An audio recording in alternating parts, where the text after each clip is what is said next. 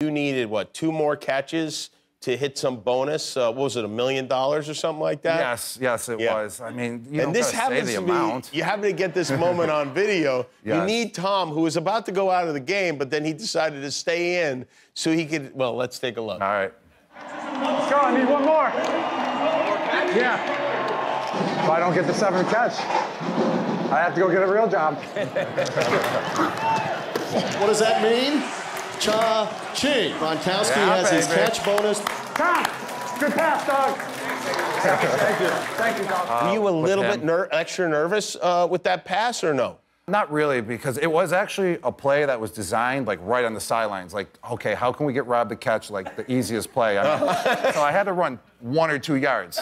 I'm not gonna lie, I actually false started on the play. Oh, really? Yes. But I think we were just winning by so so much at the time. that Yeah. The referee was like, all right, we got to keep the clock. Going. Yeah, right.